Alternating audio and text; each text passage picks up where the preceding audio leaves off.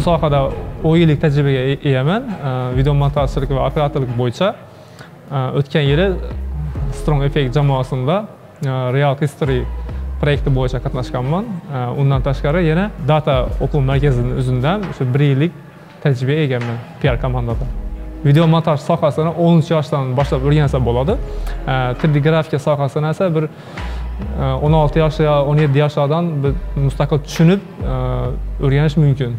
Bu sohani o'rganib e, ishlab ishlash uchun masalan o'zini iqtidori bor ya'ni shu soha qiziqib turgan bolalar bo'lishi mumkin. Video montaj yo bo'lmasa 3d grafika sohasi qiziqadiganlar uchun ko'proq foyda keltirishi mumkin. Agar qiziqishi bo'lmay turib bir ishlab ko'ring keyinchalik balkim yoqib qolsa o'rganib ketaman desa bu yuz foiz aniq bo'lmaydida o'zi bunday qaraganda. Foydasidan keladigan bo'lsa hamma uchun foydali narsa. Lekin shu soha qiziqishi iqtidori intilishi e, qat'iyati bo'lishi kerak. Chunki bu sohani o'rganish uchun ham e, ko'p bilim vaqt sabr kerak bo'ladi. Shu qiyinchiliklardan o'tib olish muhim video montaj sohasini o'zini alohida olib qarasak e, kamida bu sohadan to'rt million yoki besh milliongacha foyda topsa bo'ladi. Masalan toshkent bo'yicha ishlash mumkin yo bo'lmasa o'zimizni xorazmda ham ishlasa bo'ladi. Undan tashqari uyda o'tirgan holatda chet ellar bilan masalan qozog'iston yoki rossiyalar bilan ham frilans sifatida ishlasa bo'ladi. Endi ular bilan ishlaganda nisbatan bizlar olib qaraganda daromad ish haqi yuqoriroq bo'ladi. Bir sakkiz yuz dollargacha topish mumkin oylik hisoblaganda. Chunki man o'zim ham o'tgan yili rossiyani rossiya bilan ishlashib yurganman.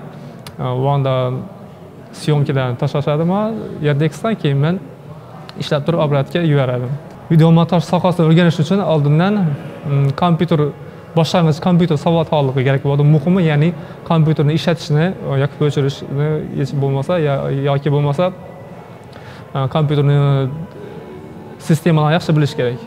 Chunki har xil kompyuterlarni yurishini e, qarab turib video montaj sohasini o'rganish mumkin.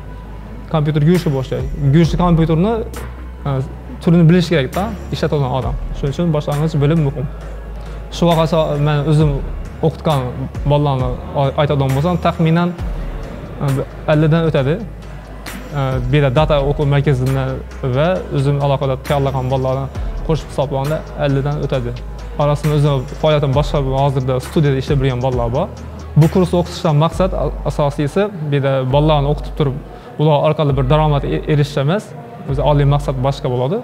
Əslində iqtidarlı, o'zini ustida ishlaydigan bilimi kuchli bolalarni e, saralab olib turib alohida bir e, grafika jamoasi tuzish kursni o'qib chiqqanlarni bitirgandan keyin e, aytadigan xatosi bu. Kursni bitirgandan keyin o'zlari o'zi ustida ishlamay qo'yadilar ko'pisi boshqa ishlar chalg'iydilar. Ko'pincha vaqtlarini behuda sarflashni boshlaydilar. Chunki ular boshqarib turadigan mentori yo bo'lmasa bir yo'naltiradigan odam bo'lmay qoladi. Lekin shu narsalarni kurs davomida hammasini tushuntirib aytib o'tib ketamiz.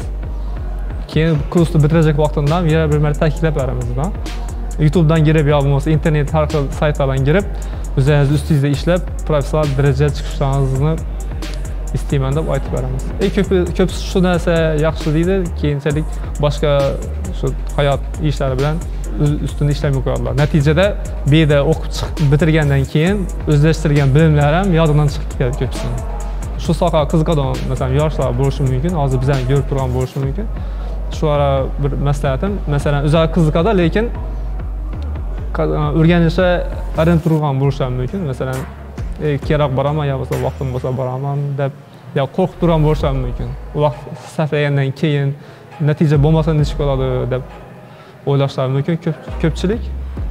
Ular maslahatim sinab ko'rmaycha bilib bo'lmaydida nechi bo'lishini oldindan shuning uchun o'xshasam o'xshamasam o'zlari shuni o'rganishga ko'zda yetib turibmi qiziqib turibmi demak bu soha shular uchun bo'ladi aniq.